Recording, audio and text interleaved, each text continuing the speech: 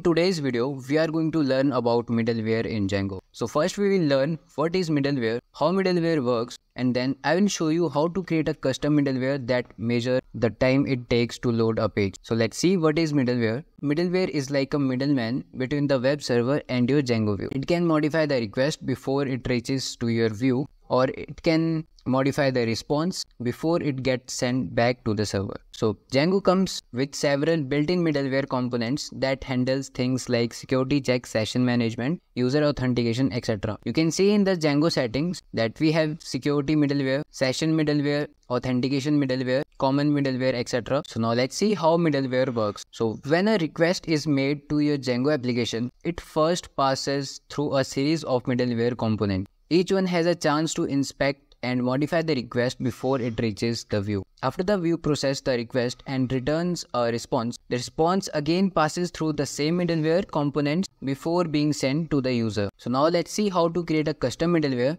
that will help us to measure how long it takes to load a page. So first you need to create a file in which you are going to define your custom middleware. So I'm going to create this file in Django's main project. So in this file we are going to create a new middleware class. Let's call it load time middleware. This class will have two main parts, the request processing and the response processing. First, we are going to define init method. That is a special method in Python and uh, it is called when instance of a class is created. And we'll pass get response in the parameter. Get response is a callable like a function that represent the next layer in the request response process. In Django's middleware chain, each middleware component can process a request before passing it on to the next middleware or the view itself. So when the get response function is called, it will pass the request further down the line or directly to the view if no other middleware is left. Now let's define a call method. In Django middleware, this method is where the request is actually processed. First we will capture the current time right before the request is processed. And then this line is the key part. Here we call the getResponse function that was stored in the init method. This function takes the request object as its argument